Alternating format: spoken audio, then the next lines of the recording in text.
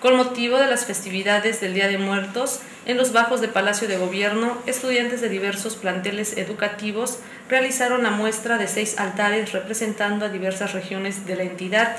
En la muestra participaron estudiantes del Instituto Tecnológico Superior de Jalapa, del Instituto de Capacitación para el Trabajo del Estado de Veracruz, de la Academia Veracruzana de Lenguas Indígenas, de la Universidad Central de Veracruz y de la Universidad del Golfo de México, además de personal del Ayuntamiento de Totutla. Los altares lucen diversos colores de papel picado, así como flores, frutas, tamales, pan, bebidas e incienso. Dicha muestra permanecerá hasta el 31 de noviembre. Con imágenes de Ricardo Matus para Imagen del Golfo, Rafaela Sayago.